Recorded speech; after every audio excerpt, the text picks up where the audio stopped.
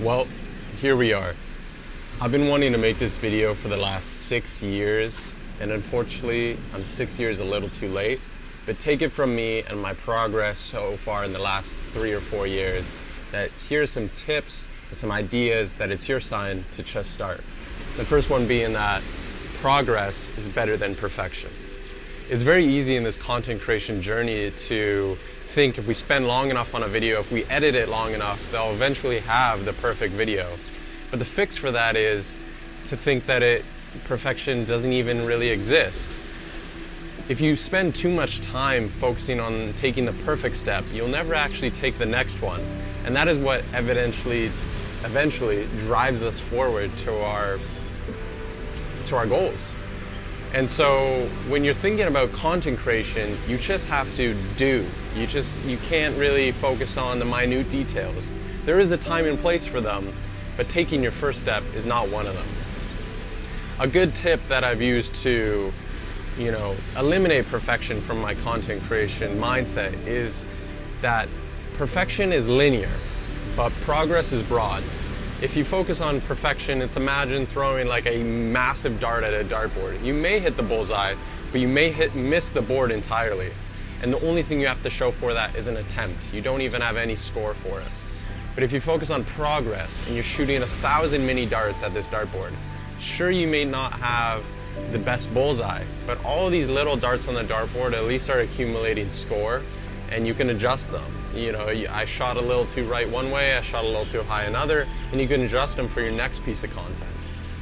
It's very easy to think that we can just make a perfect video every time, but there's always going to be those times where the videos didn't turn out how you truly wanted to if you spend more time on it, but in 10 months' time, they would be irrelevant anyway because you're just so focused on the next one. If you spend too much time sitting still on one video, you're eventually just going to fall behind it's very easy to compare to what we should be making or what we could be making, but you just have to make, you just have to do, because that's where progress is hiding.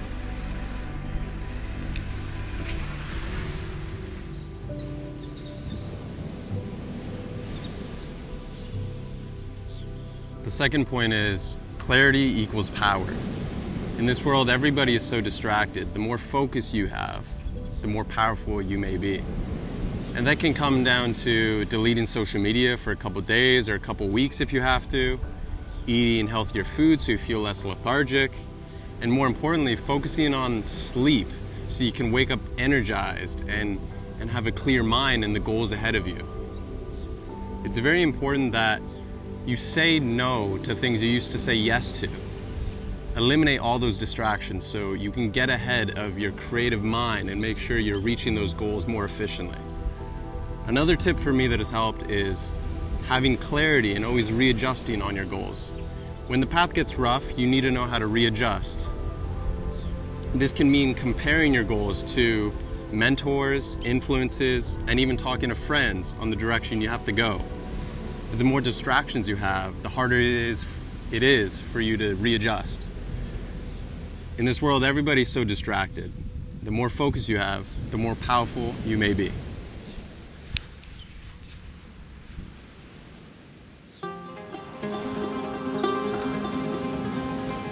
And lastly, you have the creative switch. If you feel like you're standing still, most likely you're actually falling behind. It's very important to switch things up creatively and ignite that creative flame that drives us forward as creators. That can mean switching up the camera that you're using, switching up the way you edit, switching up the way you tell a story, switching up the time of day you shoot, the type of music you use, even the way you're thinking about filming a video. It's very important that we allow these changes to actually push us forward rather than to kind of put us into a sense of fear.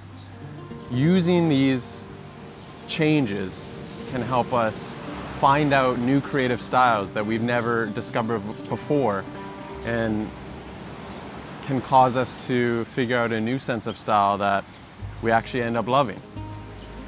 Point being, if you feel like you're stuck in one way, essentially try a different way. Try a different camera, try a different way of filming, try something that gets you out of your comfort zone, and you might find a new one.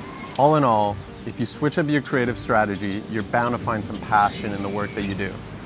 I hope these three ideas and tips have kind of spoken to you and laid out a timeline on how to start your creative journey or how to move your creative journey forward. Thank you for watching this video and I hope to see your content soon.